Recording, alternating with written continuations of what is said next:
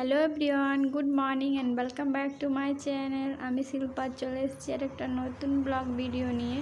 তো আজ হলো গণেশ চতুর্থী।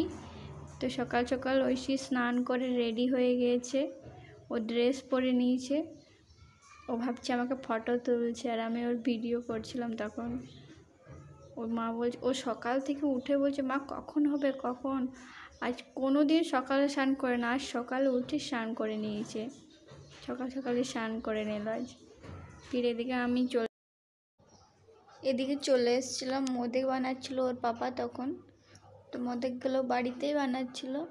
আমরা কিনেও নিয়ে এসেছিলাম আর কিছুগুলো বাড়িতে বানিয়েছিলাম। কাল যে সাচেটা কিনে নিয়ে এসেছিলাম।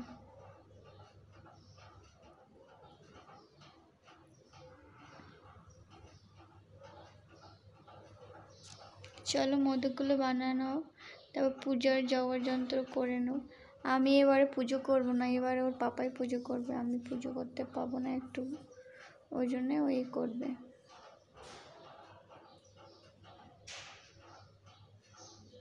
আর ওই সে এখানে দেখো। ও বলছে, কতক্ষণে বসবে? চলো বাবা পুজোতে।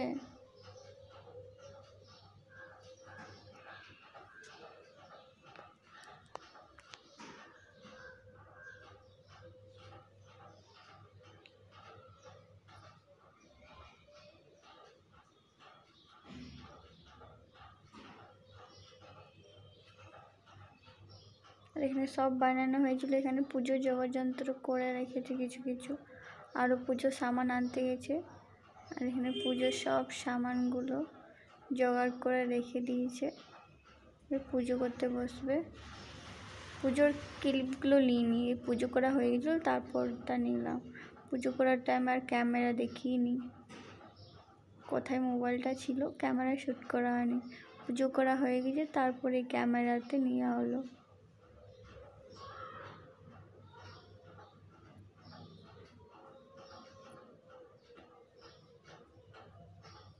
তোমার মন্দিরটা কেমন সাজানো হয়েছে? তোমরা কমেন্ট করে জানাবে।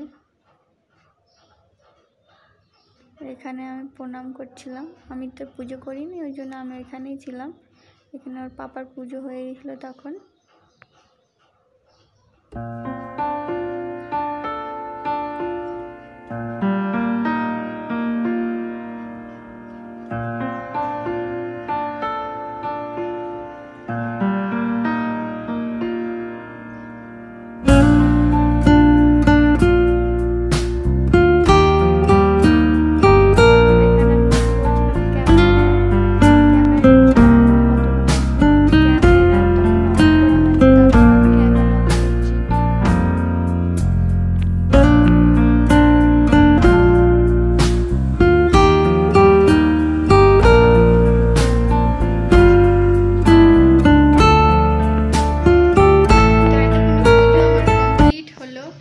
সকাল থেকে তো একদম ক্যামেরাতে ই করিনি শুধু ভিডিও শ্যুট করেছি।